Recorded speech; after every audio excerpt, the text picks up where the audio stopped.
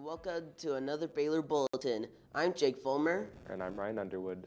Barbara Ann Corcoran is an American businesswoman, investor, speaker, consultant, syndicated columnist, author, and television personality. Due to dyslexia, Corcoran struggled throughout most of her schooling. However, she graduated from college in 1971 and went on to become a multimillionaire success and story in the field of real estate.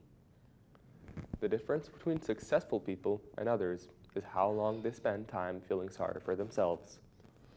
For all students enrolled in English 12, AP Literature, and Composition for next year, if you were unable to attend an information session during HST last week, please sign up for one of the sessions this week. You may attend one on Monday in room 295 or another on Tuesday in room 246. To learn more about the class and the summer reading assignment, both sessions will cover the same information, so you will only need to attend one. The drama banquet is this Tuesday at 6 o'clock. Bring your family and something to share for the potluck. All current and future club officers must meet in the cafeteria after school to set up. Anybody interested trying out for the girls' volleyball team next year, there will be a very important meeting that you must attend on Tuesday, May 24th in the O'Donnell Gym at lunchtime.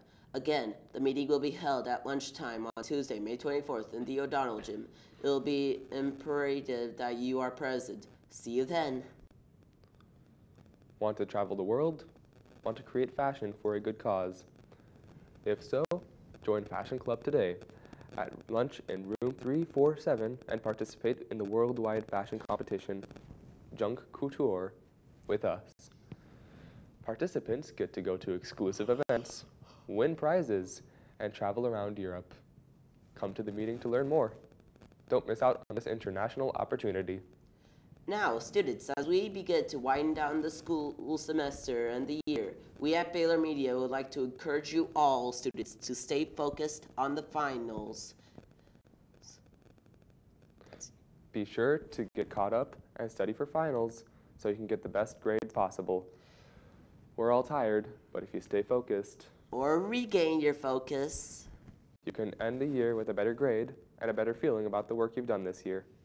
And that's about it for today's Baler Bulletin. Thanks for watching, and until next time, go, go Balers. Balers.